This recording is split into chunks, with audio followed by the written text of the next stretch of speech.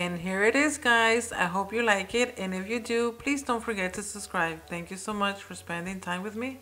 God bless. And I hope I'll see you next time. Adios.